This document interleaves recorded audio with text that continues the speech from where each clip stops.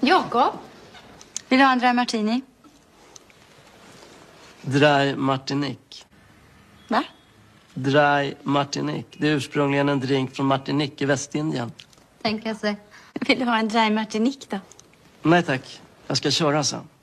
Ska du inte åka hem förrän imorgon? En drink kan du väl ta? Du, en sån där drink den innehåller 8 promille. Det kan jag inte köra på imorgon.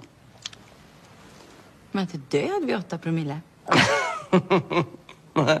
Man räknar så här. Va? Låt oss för enkelhetens skull säga att en person väger 100 kilo. 8 centiliter av det, det är 8 tusendelar, alltså 8 promille. C'est la vie.